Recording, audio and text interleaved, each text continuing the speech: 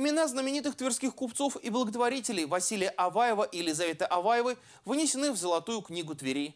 Торжественная церемония прошла накануне в стенах Центра специализированных видов медицинской помощи имени Аваева.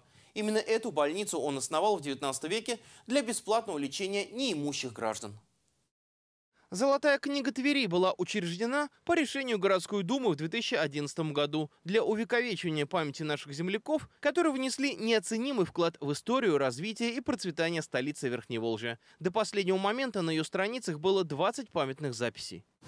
Это имена наших защитников,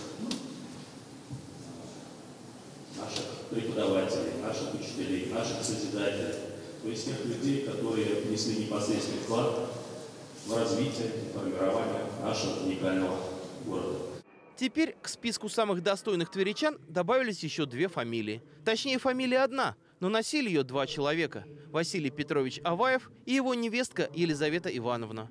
В историю столицы Верхней Волжья они, представители успешного купеческого семейства, вошли в первую очередь как благотворители. Они много сделали именно для населения Твери. Да, э, Василий Петрович и Елизавета Ивановна, они, конечно, были в то время, э, можно было сказать, такие организаторы, потому что создать в городе в 19 веке бесплатную больницу для жителей, это был такой гражданский шаг, очень ответственный шаг.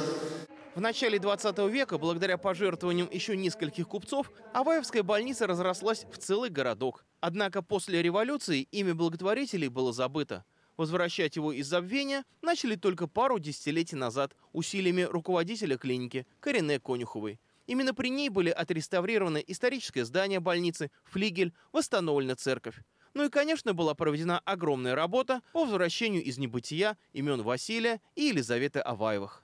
Это аккорд 20-летних поисков, возрождения, реставрации, истории. С моей точки зрения, это настолько справедливо и настолько правильно, что имена этих людей будут внесены в Золотую книгу, потому что они должны остаться в истории.